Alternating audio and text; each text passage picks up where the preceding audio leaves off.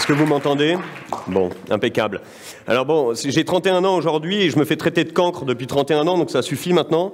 Euh, j'ai arrêté l'école justement pour que ça s'arrête. Alors ce qui est très étonnant, c'est qu'on m'a traité de cancre euh, avec un ton très très désagréable pendant des années, et maintenant on me traite de cancre avec un gros sourire, on m'accueille dans des salles, en m'applaudissant, etc.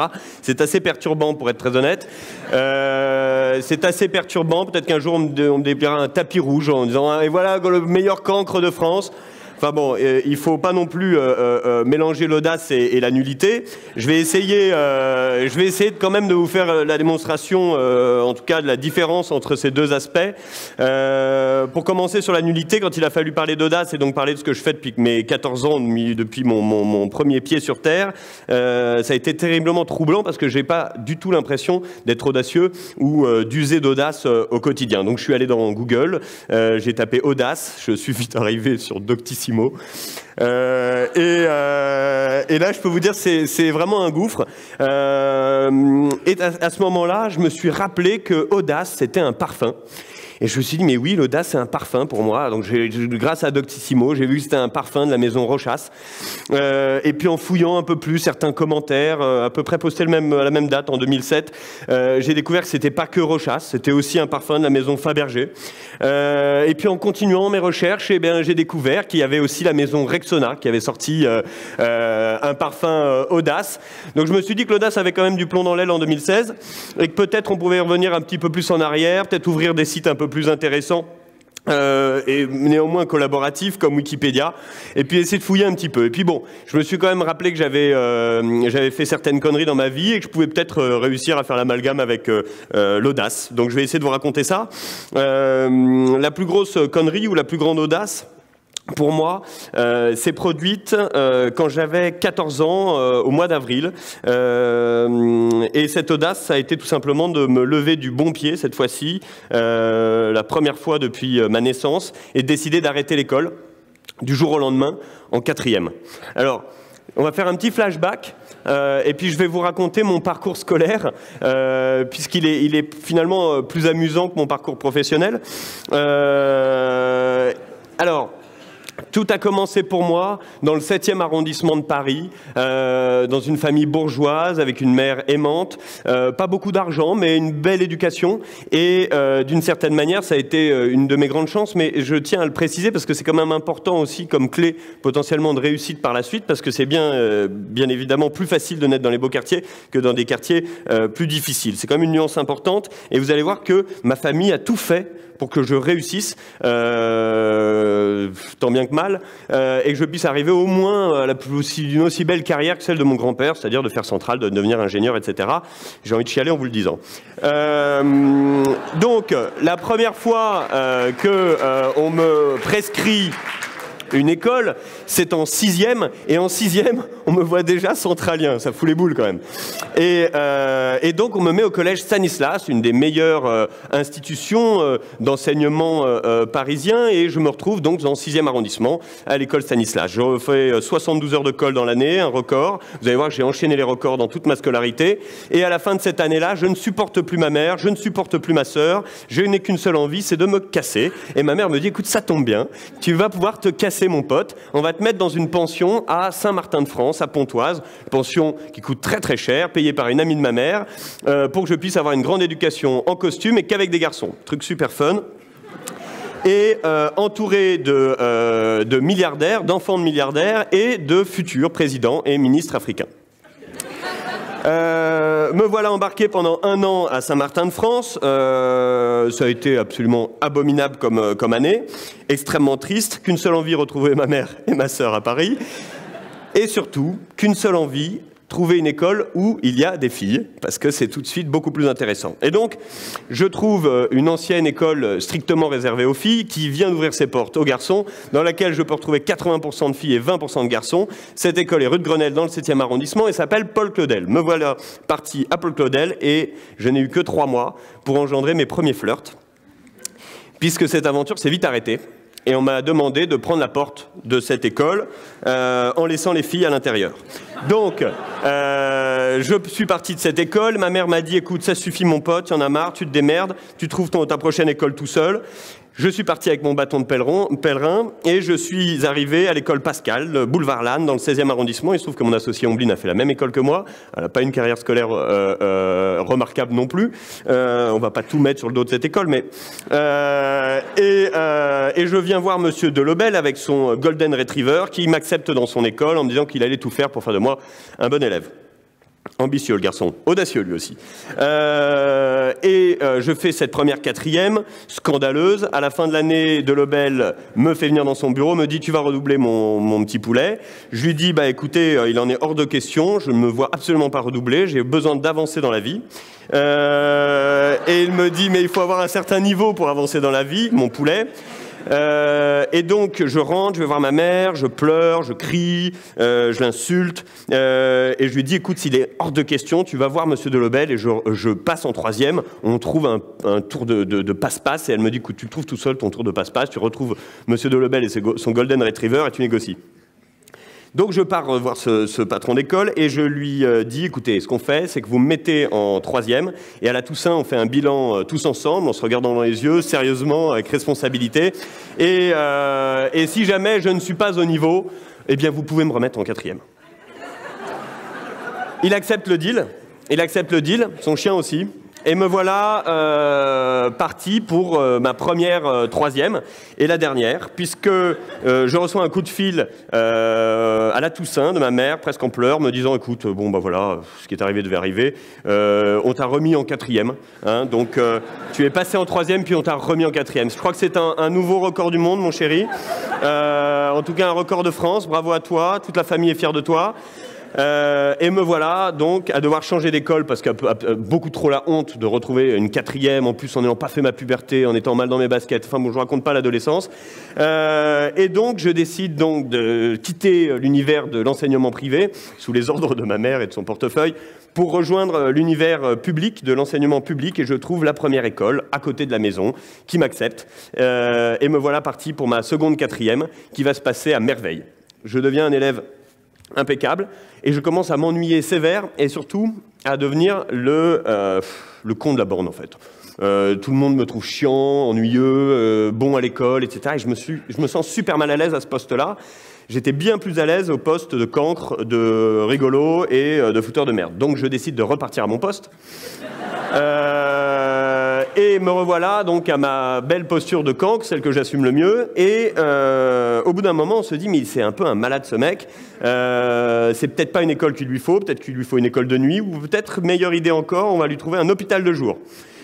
Donc, donc voilà, je me suis retrouvé à devoir choisir entre l'hôpital de jour et tout simplement me réveiller un matin et dire j'arrête cette mascarade. Je ne suis pas fait pour l'école. Je suis absolument nul. Et depuis toujours, je rêve de faire du cinéma. Ça tombe bien, c'est peut-être un des seuls métiers qu'on peut faire sans avoir eu de diplôme. Donc, encore coup de chance, ce jour-là, Festival de Paris, festival de cinéma, qui n'existe plus aujourd'hui. Je ne sais pas ce qui me prend. Je me lève, je vais voir ma mère, je lui dis c'est fini pour l'école on va se débrouiller avec, euh, les assistantes sociales, on va prendre des cours par correspondance, c'est pas grave, je referai cette quatrième euh, à distance. Mais il y a un festival de cinéma, je vais y aller, je vais faire tout mon réseau, je vais faire toutes mes rencontres et je vais trouver mes premiers boulots comme ça. On est en avril et je trouve mes premiers boulots pour le mois de juin et me voilà parti de mes 14 à mes 16 ans à travailler illégalement avec une euh, lettre de ma mère m'assurant sur tous les plateaux de cinéma et de photographie de France pour apprendre ce métier-là. Après cette aventure, à mes 16 ans, je monte ma première entreprise, je la ferme à 17 ans. Euh, je vous le fais rapide pour la suite, je monte une deuxième entreprise que je ferme à 22 ans, et donc j'ai passé ma vie à apprendre à monter et à fermer des entreprises. Ce qui est vachement bien parce qu'on nous apprend rarement à fermer une entreprise. Euh, cette aventure m'a amené évidemment à monter euh, Kiss Kiss Bank Bank, Hello Merci et Lendopolis avec mes deux camarades et cousins euh, Cancre, euh, Omblin et Vincent. Et, euh, et d'une certaine manière, ce que j'ai pu apprendre en fait avec tout ça, c'est que j'avais eu une chance inouïe, c'est d'avoir été bien élevé. Et j'avais une deuxième chance inouïe, c'était extrêmement mal poli. Et donc, d'en avoir d'une certaine manière bien rien à foutre des institutions, des règles établies, etc. etc. Et en fait, ma quête permanente, c'était simplement d'écarter les murs, de trouver des espaces dans lesquels m'épanouir et de me trouver moi-même. Et de me trouver moi-même par curiosité, à force bah, d'essayer de voir là où je suis. Et je me rappellerai toujours de cette phrase. Euh, c'est un peu ma deuxième famille. Mes, mes, amis ont un papa qui est, qui est un avocat brillant et je me souviens encore d'un dîner où il me regarde et il me dit Si tu savais, Adrien, le nombre de cons qui ont réussi dans la vie. Et là, eh ben, écoutez, ça a été une lumière. J'ai fermé les yeux et j'ai vu tous ces cons qui ont réussi dans la vie. Et je me suis dit, s'il y en a autant qui réussissent, c'est que la clé ne réside absolument pas dans l'éducation, dans l'intelligence ou quoi que ce soit, mais la clé réside dans le travail. Et là-dessus, je me suis dit, mais c'est génial, on peut tous être des gros travailleurs. Il y a une certaine égalité des chances là-dessus. Et puis tout d'un coup, si on veut travailler avec euh, euh, force, on ne travaille pas avec force sans une raison forte. Et cette raison forte, c'est la passion. C'est cool parce que la passion, c'est pareil. Il y a une certaine égalité des chances là-dessus. On peut tous avoir une passion dans la vie. Mais encore faut-il trouver sa passion. Et donc si on remonte le fil du travail, on arrive à finalement, pour moi, l'ADN bah, de l'audace, la curiosité. Et la capacité, justement, à regarder, à tout découvrir, à discuter avec même les gens qu'on n'aime pas, et à essayer d'apprendre de tout ce qui nous entoure. Parce que ça, ça génère forcément la créativité, et ça permet de dépasser toutes les limites. Et comme j'étais mal poli, je me suis intéressé aux voyous aux voyous de mon temps. Et je me suis intéressé à l'ancien ennemi numéro un de notre pays, Jacques Mérine. Jacques Mérine qui arrivait à s'échapper de toutes les prisons, même les prisons les, plus euh, euh, sauvegardées, les plus surveillées, dont une prison au Canada, qui est la dernière prison de laquelle il arrive à s'évader. Et on lui pose la question de savoir comment il fait pour partir de cette prison, surveiller un maximum. Et il explique la chose suivante. Il explique que quelqu'un normalement euh, conçu pas forcément quelqu'un qui a l'audace en lui, va considérer que c'est impossible de sortir de cette prison parce que, un, il y a les barreaux de la cellule. Si on arrive à sortir de ces barreaux, c'est déjà un tour de magie, on arrive dans une cour qui est extrêmement longue, avec des miradors et des mecs avec des fusils prêts à vous canarder. Et dit c'est impossible de passer cette cour. Et puis au bout de cette cour, il y a un mur avec euh, euh, un mur gigantissime, impossible de le passer.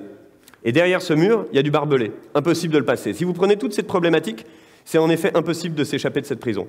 Mais Jacques Mérine, il est créatif, il a de l'audace, il estime qu'il faut réaliser des paris dans la vie si on veut s'en sortir, et il a compris que quand on se met en danger, on ouvre un champ des possibles, et ce champ des possibles nous offre des solutions qu'on n'aurait jamais pu imaginer auparavant. Donc Jacques Mérine, en fait, le seul truc qui compte pour lui, c'est de se séparer de ses barreaux, et après, il verra comment trouver des solutions. Et là, tout d'un coup, il arrive à sortir de cette cellule. Et au moment où il sort de cette cellule, coup de bol, les mecs sur les Miradors s'étaient bourré la gueule la veille et ils n'arrivent pas à le toucher. Donc il passe cet énorme cours par un coup de chance, un coup de chance qu'il a généré par lui-même, pour arriver devant un mur. Ce mur, deuxième coup de chance, il y a une prise à hauteur d'homme lui permettant de passer ce mur. Encore une fois, cette chance, il l'a générée par lui-même en ouvrant ses champs des possibles, pour derrière finir sur une troisième, un troisième coup de chance le grillage est troué, il arrive à passer en dessous et il s'échappe.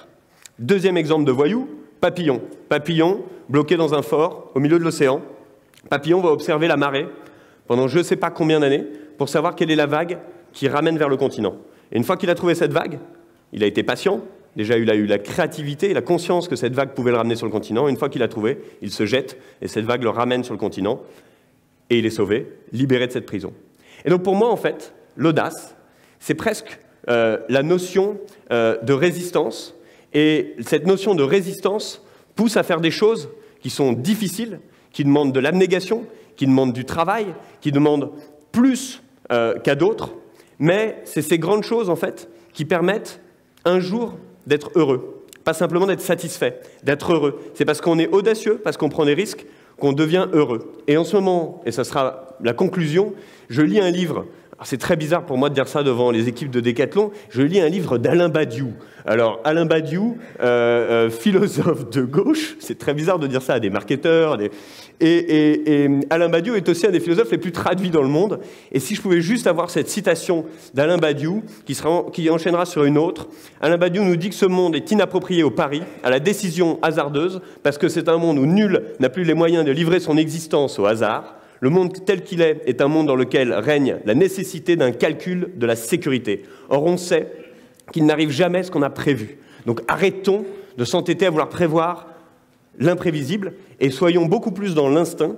Et pour finir, sur une dernière citation de Mallarmé, toute pensée émet un coup de dé. Et si toute pensée met un coup de dé, ce que Badiou définit presque comme étant la philosophie en tant que telle, ça veut dire que toute action définit un, un coup de dé. Et donc je vous invite à jouer au dé le plus souvent possible, parce que vous verrez que vous y arriverez beaucoup plus qu'en essayant de tout prévoir. Et pour finir sur ce point-là, je peux vous le jurer, du haut de mes 31 ans, d'être audacieux, en fait, ça rend heureux. Et pour terminer encore sur une dernière citation d'Alain Badiou, il faut être heureux pour changer le monde. Merci.